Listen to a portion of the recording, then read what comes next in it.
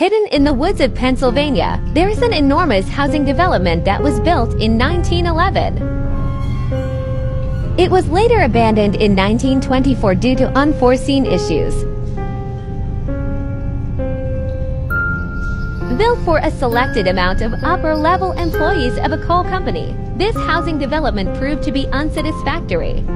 The homes were constructed out of concrete.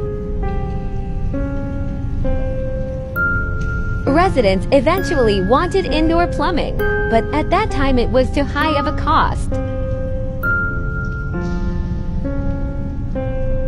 New developers wanted to level the place and used 100 sticks of dynamite to destroy it. The buildings were barely damaged and left abandoned to this very day.